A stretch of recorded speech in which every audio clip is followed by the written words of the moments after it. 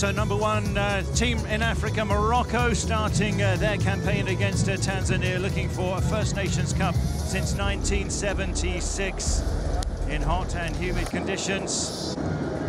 Hakim Ziyech with a fierce free kick coming into the path of Romain Saïss. 30 minutes in and the captain with an easy tap in.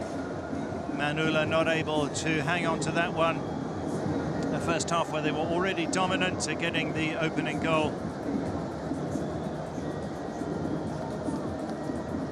Uh, Saïss a comfortable finish. There were more chances too in the first half for the Atlas Lions. Ziyech explosive, plenty of power on that one. Manula had a busy game, to say the least. Second half action, the short passes were so effective for the Atlas Lions.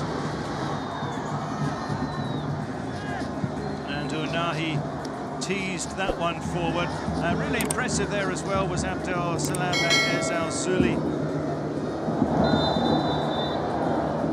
Second yellow, this was a turning point in the game. Novatus Miroshi, he knew he was on a yellow and shouldn't have taken chances like that. Tanzania reduced to 10 men. Scoreline was 1-0 at that point. But there was more to come from the Atlas Lions.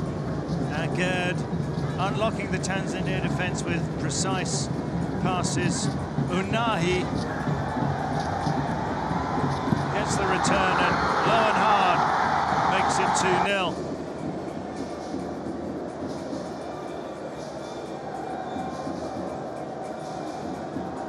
no way that uh, Tanzania were going to be able to come back from this, and there was more to come as uh, En finished off the way that a centre forward is supposed to.